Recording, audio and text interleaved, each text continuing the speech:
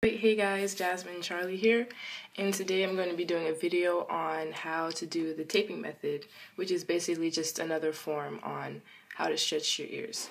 So as you can see, my lobes don't have my, um, I don't have my plugs in, and I'm currently at a 9 16 at 9 16ths.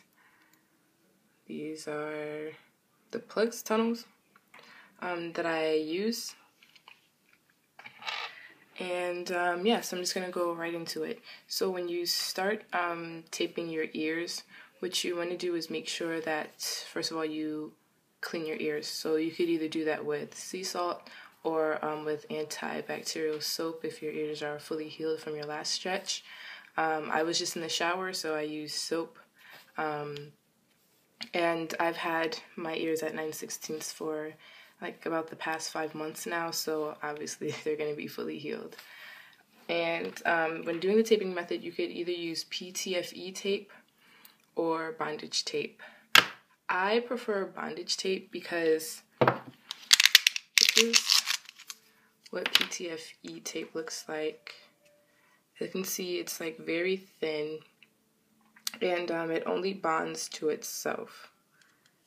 Um, the problem that I had is when I tried to put it on my plugs the first time that I tried the taping method, um, no matter how much um, lubricant I used, the plug wasn't going through my ear, and I legit only had one layer of this stuff on. And as you can see, it's fairly thin. I don't know if you guys can see that, but it's very thin. It's light. It's barely anything. So, so yeah, so I eventually gave up with trying to use the PTFE tape. Um, and that was from when I was trying to go from uh, double zero to seven sixteenths. And this just, just didn't really work out for me. Even like just the lubricant that I was using, which is just holy butter, it started making the PTFE tape deteriorate. And it, and I heard for a lot of people that it also dries out their ears. So I went on to bondage tape, which looks like this. You could get this at Spencer's or whatever. And if you want to try PTFE tape, you could get this from like Home Depot or anything for about like a couple bucks. Um, your parents might already have some in the house. So this is what it looks like. It's a little bit thicker than PTFE tape, but as you can see, it's very slick, very smooth. Um, you could get this at Spencer's for about eight bucks, and they will understand at least the place that I go to, they understood that um, I was using this to stretch my ears. So I don't know if you have to be 18 to buy bondage tape, but I'm not 18 and they let me buy it because they knew I was using it to stretch my ears. And what I like about this so much is that um, it's durable, it lasts for a very long time, so you don't have to keep cutting out extra and extra and extra strips every time you want to retape. You could just keep building on the tape that you already have and it won't come off. Um, also, it's very smooth.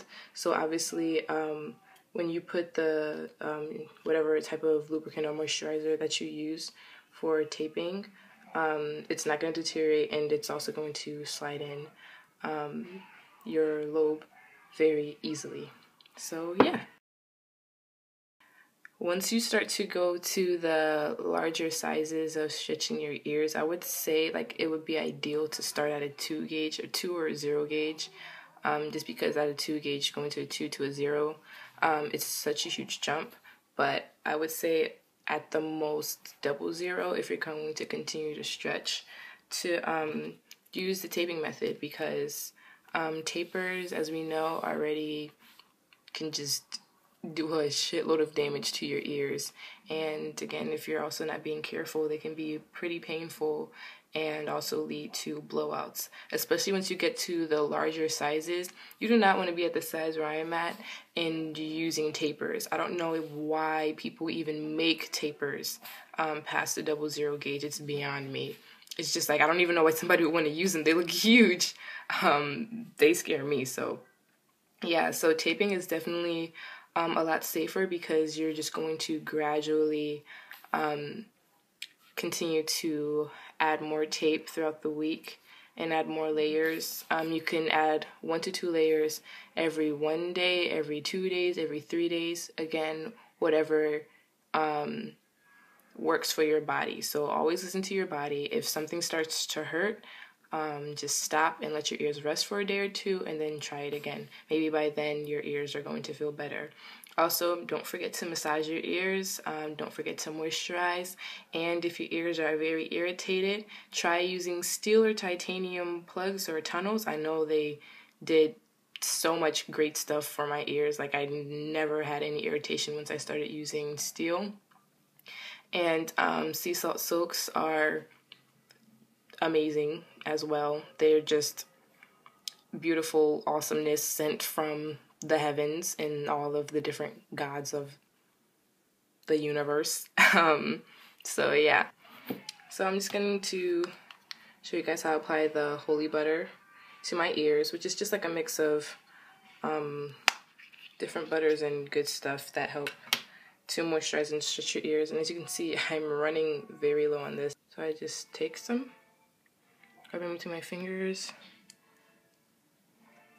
and rub it on my ears. And I make sure I go inside my ear too because my lobes are big enough where my fingers can go through. If your fingers can't go through, then just go like that and it should go on the inside.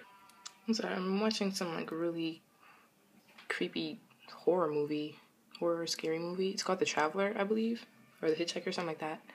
Um, it's on Netflix. So yeah, and so now my ears are nice and lubricated. And now I'm going to show you how to cut off a strip and apply it to the plug. So stay tuned. Okay, hey guys. Um, hopefully um, this is a good enough angle for you guys to see. And excuse the fact that I'm wearing a belly shirt. Um, hopefully nobody's offended. So basically these are my um, tunnels. And what you want to do is take off the O-rings I measure out this distance here along the tape so I know how wide I need to cut the tape in order for it to fit around the plug. So I'm actually going to try to make this easier just by cutting off a large strip. Alright, so here's a large strip here. And what I do is, here's the plug, and then I just hold it right up against it and then I see how wide it has to be. And it only has to go to about here. So I hold that with my finger. And I know that this is the distance of the tape that I need to cut off. And then I just cut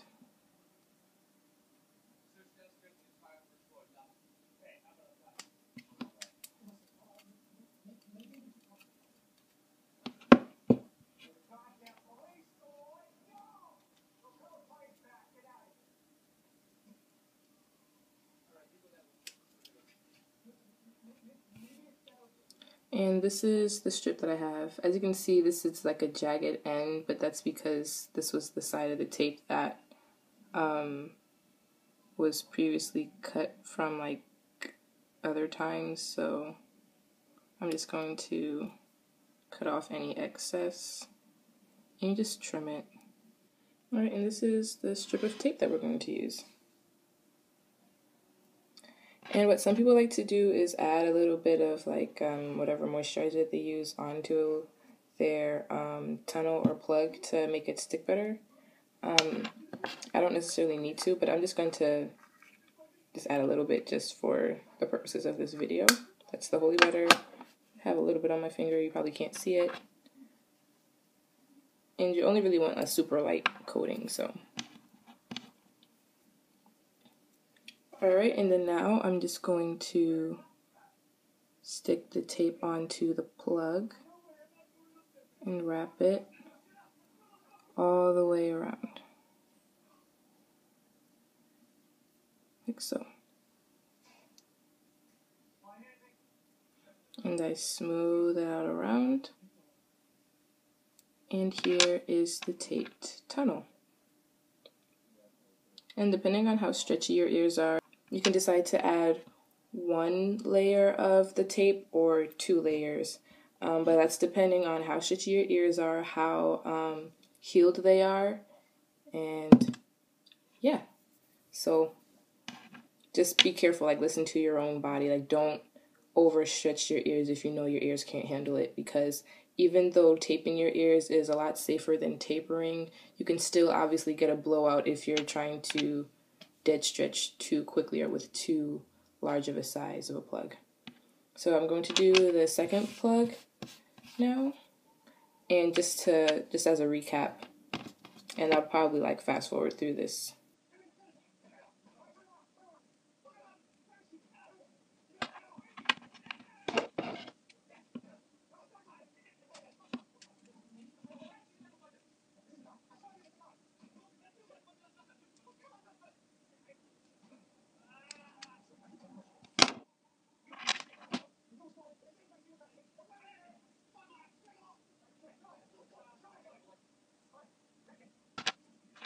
hey guys, I'm back. Now I'm going to show you guys how I put the taped plugs into my ear, tunnels into my ear. So, I just do like I normally would. And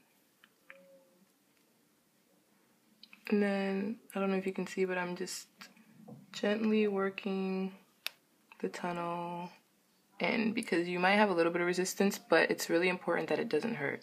This doesn't hurt at all. All right, and just making sure that it goes into place. And it's in. A part of it is just the fact that sometimes the tape can slide around, so it can be a little tricky at times, but once you start, you'll get the hang of it.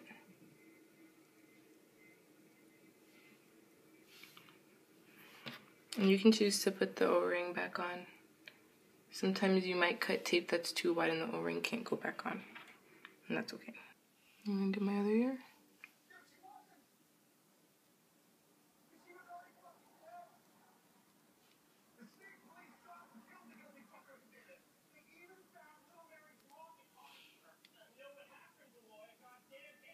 All right.